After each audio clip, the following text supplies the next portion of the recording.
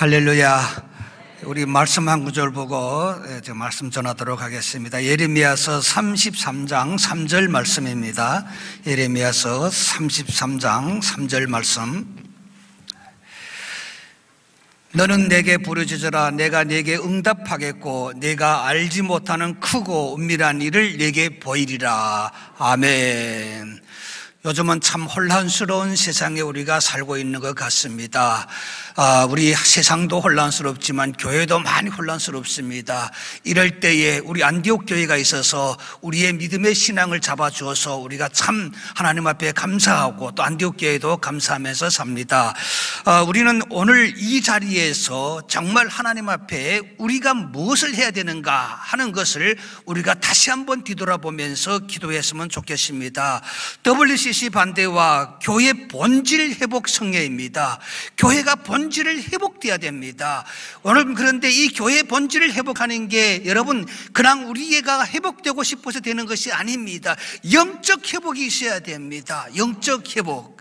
저는 이 안디옥 교회에 올 때마다 마음이 뜨겁습니다. 오늘은 토요일입니다. 여러분 다 아시지 않습니까? 목회자는 토요일이면은 본 교회의 설교를 준비해야 되고 또 본 교회 일들이 얼마나 많습니까? 그럼에도 불구하고 저는 서울에서 이 안디옥 교회로 달려온 목적이 있습니다. 우리 박영우 목사님께서 WCC 반대를 위해서 생명을 걸지 않았습니까? 이때에 우리가 함께하지 않으면은 여러분 누가 함께하겠습니까?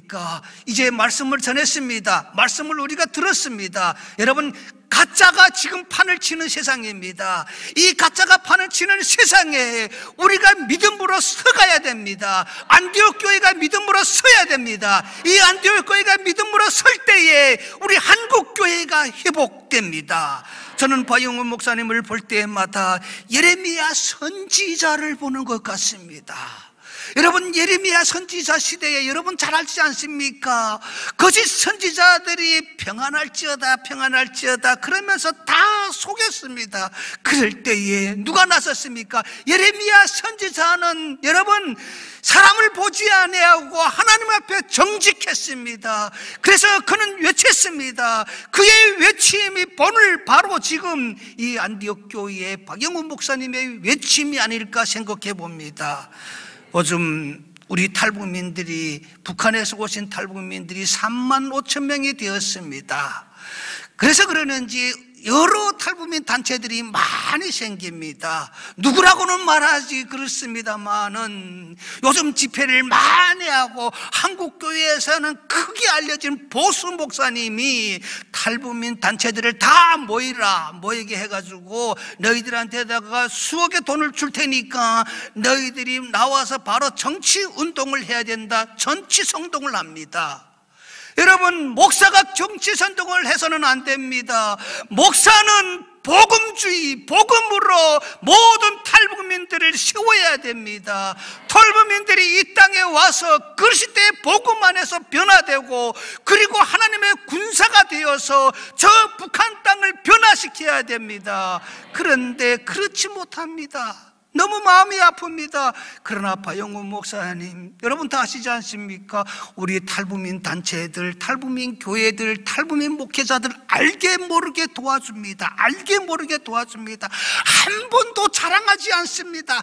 한 번도 그 티를 내지 않습니다. 그래서 저는 더욱더 목사님을 존경합니다. 여러분, 성경은 말합니다. 오른손에 하는 걸 왼손이 모르게 하라 그랬습니다. 우리는 사랑을 나누자, 사랑을 전하자 하면서 늘 그 사랑을 자랑하기에 우리는 바빴습니다. 여러분 보십시오. 저는 WCC에 대해서 너무도 저는 격분합니다. 자, 여러분, 올해의 7월 8일 CBS에서 NCCK에서 주관한 한반도 평화 포럼이라는 포럼을 했습니다. 자, 이 포럼에서 뭐라 그랬는가 하면요. 북한의 조구련 조선 그리스도 연맹이라고 있습니다. 조구련하고 협력해서 자기들이 평화 통일을 이루겠다는 것입니다. 자, 여러분, 조선 그리스도 연맹, 저는 북한에서 살다가 왔습니다만은 조선 그리스도 연맹이 뭐 하는지조차도 모르던 사람입니다. 우리는 북한에서 전혀 몰랐습니다. 한국에 와 보니까 조선 그리스도 연맹이라고 하는 기독교 단체가 북한에 있다는 것을 여기에 와서 알았습니다. 자, 조선 그리스도 연맹이 뭐 하는 단체인가? 이런 간첩들의 소굴입니다. 간첩들의 속을 자 조선 그리스도의 연맹에 여러분 이성숙 목사라고 있습니다. 여자 목사입니다 어디에서 어떻게 신학 공부를 했는지 모르겠습니다. 평양신학원에서 공부했다고 합니다. 평양신학원을 누가 세웠습니까? 우리 한국의 교단들이 가서 평양에다가 평양신학원을 세웠다고 자랑합니다. 거기에서 공부를 했고 목사가 됐다고 하는 이성숙 목사가 전도사 때에 여러분 인터넷에 쳐보십시오. 이성숙 조구련의 목사라고 쳐보십시오. 이가 나는 목사라고 부르고도 쉽지 않습니다. 여러분, 이가 자기가 전도사 시절에 서방 언론들이 조그런에 가가지고 진짜 조그런에 추구하는 그리스도의 복음이 과연 무엇인가 알아보기 위해서 서방 언론들이 가서 인터뷰를 했습니다. 이 이성숙 전도사 때에 그런데 그는 공공연하게 그 언론 인터뷰를 하면서 이렇게 말했습니다. 자기는 하나님이 곧 김일성이라고 생각한다는 겁니다. 하나님이 곧 김일성이다. 참 여러분, 어떻게 이게 목사입니까? 자, 이런 조선 그리스도의 연맹하고 지금 WCC하고 지금 함께 평화 통일을 이루어 가겠답니다. 여러분, 이게 말이나 됩니까, 이게? 여러분, 조선 그리스도 연맹은 기독교 단체가 아닙니다. 여러분, 기독교 단체를 보면은 안 됩니다. WCC 자체가, 여러분 보십시오. 타 종교도 다 구원 있다고 하는 WCC가 바로 북한의 조구련하고 어떻게 통일을 하겠다는 것입니까? 여러분 우리 한국 교회 정신 차려야 됩니다. 우리 한국 교회 목회자들 정신 차려야 됩니다. 조선 그리스도 연맹이 어떤 곳인가 하는 것을 우리가 먼저 낱낱이 그를 파악하고 그들이 무너지기를 기도해야 됩니다. 그리고 이정숙 목사가 이렇게 말했습니다. 서방 언론이 당신은 부활을 믿습니까? 나는 부활을 믿지 않습니다. 이 첨단 시대에, 이 과학 시대에 사람이 죽어나 죽어 사람이 어떻게 살아났다고 우리가 믿을 수 있습니까? 그러면서 그는 자기는 부활을 절대 믿지 않는다고 말했습니다. 여러분, 우리 기독교의 근본이 무엇입니까? 부활의 종교입니다. 부활의 종교. 예수님의 부활을 안 믿으면 우리가 어떻게 여러분 여러분 기독교인이라고 목사라고 말할 수 있습니까? 조그런애를 담당하고 있는 조그런애에서 키웠다고 하는 평양신앙원에서 공부했다고 하는 그 목사가 이성숙이라는 목사가 말한 겁니다. 자기는 부활을 믿지 않는다는 겁니다. 이 가계 시대에 이 첨단 시대에 사람이 죽었다고 살아난 걸 어떻게 그걸 믿는가고 이런 게 목사라고 지금 나와서 여러분 서방 올려내다가 공공 이야기했습니다. 그런데 WCC가 진짜 진짜 신앙의 양심이 있는 단체라면은 그걸 먼저 물어야 되지 않을까요? 그런데 그들하고 평화 통일을 만들어 가겠답니다. 속지 마세요. 속지 마세요. 이게 예레미야 시대의 가짜 선지자들하고 뭐가 다릅니까? 여러분 예레미야 선지자 시대에 가짜 선지자들이 뭐라고 그랬습니까? 예레미야서 27장 17절의 말씀에 보니까 너희는 그들의 말을 듣지 말고 바벨론 왕을 섬기라고 그랬습니다. 바벨론 왕을 바로 이게 가짜 선지자들입니다. 오늘 보십시오, 여러분. WCC 그리고 저 조고련이라고 하는 조선 그리스도 연맹 여러분 바로 이 가짜 선지자들과 똑같은 자들입니다. 여러분 우리 한국 교회 정신 차려야 됩니다. 여러분 예레미야 선지자는 그들하고 맞섰습니다. 그러면서 가짜 선지자들이 뭐라 그랬습니까? 유다를 향해서 가짜 평화를 정했습니다. 가짜 평화. 아, 평화롭지도 못하는데 평화 있다. 우리는 평화롭게 살고 있다. 그러면서 바벨론에 끌려간 왕과 빼앗긴 성전 기구들을 곧 찾아올 것이라고 그들은 거짓말로 사람들을 현혹시켰습니다. 자, 이것을 알게 된 예레미야 선지자가 죽기를 각오하고 여러분 그들하고 맞섰지 않습니까? 모두가 평화를 말할 때에 예레미야 선지자는 유다가 멸망할 것이라고 그가 외쳤습니다. 이게 바로 예레미야 선지자의 신앙의 양심이었습니다. 오늘 바로 버영우 목사님이 WCC하고 싸우는 목적이 바로 이 예레미야 선지자가 가짜 선지자들하고 맞서 싸운 바로 그 복음의 선지자의 역할을 하고 있는 것입니다. 오늘 우리 안디옥 교회에 정신 차립시다. 우리 안디옥 교회만 바로 서게 되면은 우리나라 하나님이 보호해 주십니다. 여러분이 일어나게 되면은 여러분 여러분의 외침을 통해서 저 북한이 복음화됩니다. 무너진 교회가 세워집니다. 이 땅에 온 탈북민들이 하나님 안에서 깨어납니다. 여러분 안디옥 교회는 바로 그 역할을 해야 될 교회입니다. 오늘 이 땅에 온 우리 탈북민 목회자들 그리고 탈북민 교회, 탈북민 단체들 정말 이 안디옥 교회에 와서 박영우 목사님의 설교를 듣고 복음의 근본을 세워 가야 됩니다. 복음의 근본. 사람이 인간이 양심이 있어야 되지 않겠습니까? 하물며 그리스도인들이 복음의 양심이 있어야 되지 않겠습니까? 우리 그리스도인들이 복음의 양심을 저버리고 어떻게 감히 하나님 앞에 통일을 달라고 말할 수 있습니까? 우리 조국 대한민국 어떻게 지켜준 나라입니까?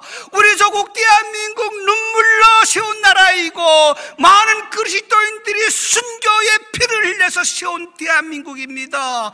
그래서 우리나라의 애국 국가에 하나님이 보호하사 대한민국 만세라고 기록해 놨습니다.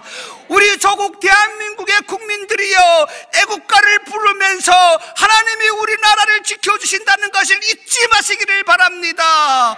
우리의 믿음의 선진들이 애국가에다가 왜 이 문구를 넣었을까요? 지금처럼 이렇게 하나님이 없어도 우리는 살 수 있다고 하는 이 시대에 우리가 애국가를 부르면서 아, 믿음의 선진들이 우리 하나님이 이 나라를 세우시고 하나님이 지켜가신다는 것을 잊지 않게 하기 위해서 넣었다는 것을 잊지 말아야 됩니다. 여러분, 저는 두렵지 않습니다. 북한에 아무리 해골수 만들고 뭐, 뭐 미사를 쏴야 된다고 놀라지 마세요. 최후 바락입니다. 최후 바락입니다. 이제 하나님께서 저 북한 땅을 손보게 될 줄로 저는 믿습니다. 여러분의 기도 소리가 있는데, 여러분의 신앙이 있는데, 어찌 하나님이 감동하지 않겠습니까? 여러분, 하나님의 때, 하나님의 시대가 바야흐로 다가오고 있습니다. 여러분, 이 새벽이 이제 우리가 이 새벽에 오기 그 전이 제일 어둡다고 했습니다. 지금 이 어두운 시대에 곧 물러갈 것입니다. 여러분 희망을 가지세요. 평양 대부운동이 일어났던 그 때를 우리가 기억해 봅시다.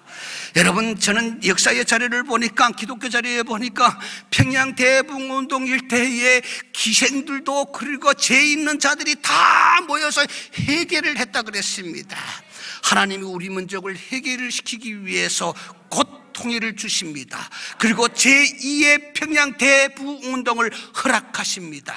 저는 평양이 열리게 되면은 박영훈 목사님과 함께 여러분들과 함께 저 대동강 에 가서 하나님 앞에 기도 드리고 싶습니다. 그리고 이 영성 집회를 하고 싶습니다. WCC가 보도록 우리가 기도했기 때문에 하나님이 이 민족을 살려줬다고 안디옥 교회가 있었기 때문에 박영훈 목사님 같은 분이 계셨기 때문에 하나님이 우리 민족을 살려주셨다고 저 평양 대동강에 가서 외치고 싶습니다. 여러분 꿈이 아닙니다. 사람들이 월드컵 때에 꿈은 이루어진다고 했습니다. 세상의 꿈도 이루어지는데 하나님을 향한 믿음의 꿈이 어찌 이루어지지 않겠습니까? 여러분의 한 사람 한 사람의 꿈, 바로 하나님의 상한 소망의 꿈, 그 꿈은 바로 이 강주 안디옥 교회에서부터 시작될 줄로 믿습니다. 오늘 마지막 끝까지 여러분 WCC 반대와 교회 본질을 회복하는 이 자리가 되기를 바랍니다. 탈북이로 강철호 목사님 정말 귀하신 분이고 어 저는 제 이름 안 나오면 이렇게 마음이 막 진짜 힘들어요. 그럴 자격도 없고요, 능력도 없고요. 어쨌든 그리고 어 지금 어떤 내 마음에 지금 내가 알기로 탈북자 여기서 전부 라인 있어요. 그래서 어 탈북자를 위해서 헌금을 지난번에 많이 해주셔가지고 지금 쭉 많은 도움을 하셨는데 탈북자 교회가 한 40개 됩니다. 우리나라. 근데 다 약해요. 코로나 시대에 문 닫고 막 이런 현상이 난 거예요. 근데 그러면 우리가 북한에서 어떻게 하겠습니까? 그래서 에, 이 시간에 감동되는 대로 예, 집회에 헌금수수를 아예 없거든요. 저 아직까지 근데 예, 이럴 때 우리가 정성껏 여러분 예물을 드리면 이대로 내가 강철 목사 드리고 하나님 기뻐 받을 줄 믿습니다. 그리고 지금 인터넷 영상 예배 드리는 분도 온라인으로 예, 북한 선교 보내주시면 제가 그대로 어, 전달하도록 하겠습니다. 할렐루야. 어, 하나님이 기뻐 받고 반드시 우리에게 복을 줄 믿습니다.